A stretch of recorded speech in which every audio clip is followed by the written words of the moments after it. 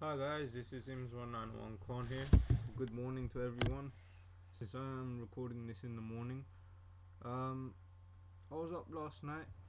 As usual, I was doing quite some research and I was going above and about some topics which I really was quite interested in. And I just wanted to make a few things clear. Since my last video was a few thoughts, it was a few ideas which was on my mind and at that time I did have quite a substantial amount of knowledge and I do have a, a lot of knowledge on this subject.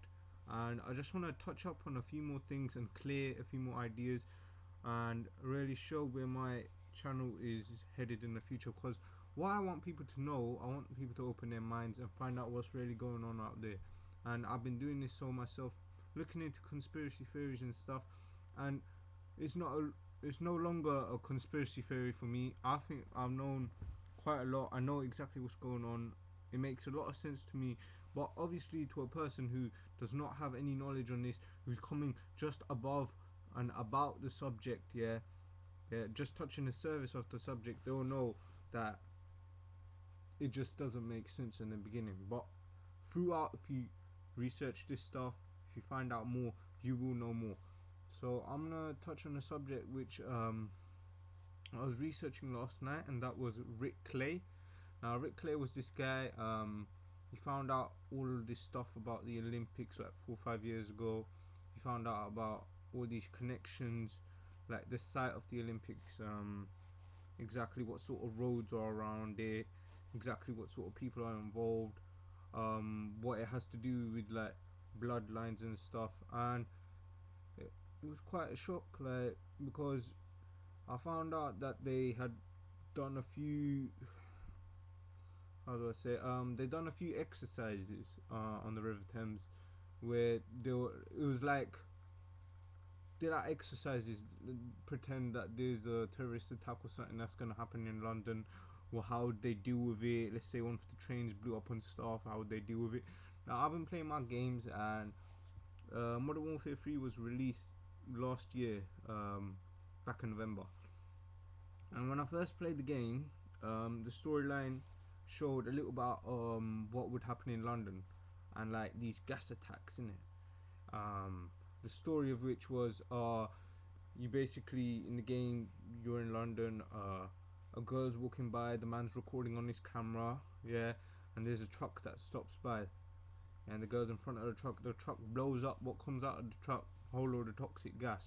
And what I've been doing is quite some research on like biological weapons and stuff that they're going that they might use and I came across something quite astonishing. I found out that under the Olympic site was actually this old nuclear site that was there. Before that was an old nuclear site well old and it was just an empty wasteland and it was in the middle of Leyton and Leytonstone and and the area of which had been um, the area there before was quite it was empty. It was the only free space they could find. And apparently it was there so they used it for the stadium and it was big enough.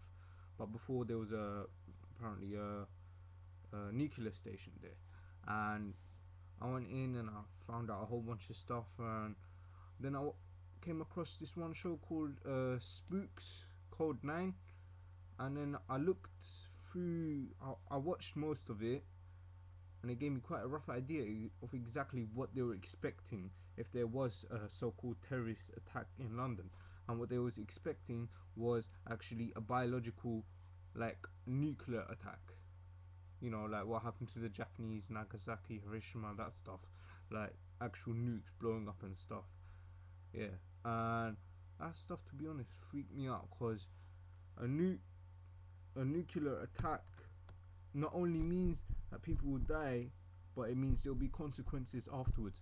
So if there was a nuclear attack people would die and then the generations afterwards would also be hurt because of that attack. So let's say a nuke went off yeah? Babies would be born deformed people would just have natural illnesses quicker and it'd kill off people. And I found out that the main agenda of the New World Order would be to I guess it'd be to really, in a way,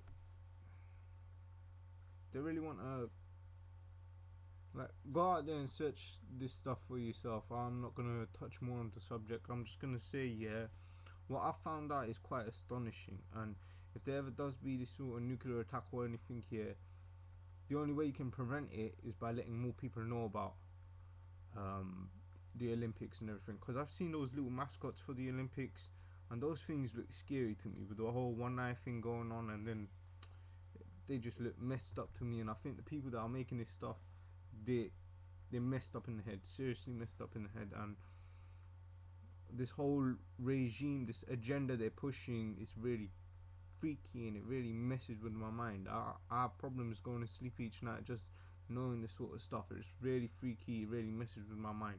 And I just want you lot to go on a few channels, like research, like really find out, open your minds, exactly, find out exactly what's going on. Because me myself, I can only tell you so much. I can lead you in a direction, but for you, it's a path that you have to follow. Go out there, research exactly what's going on.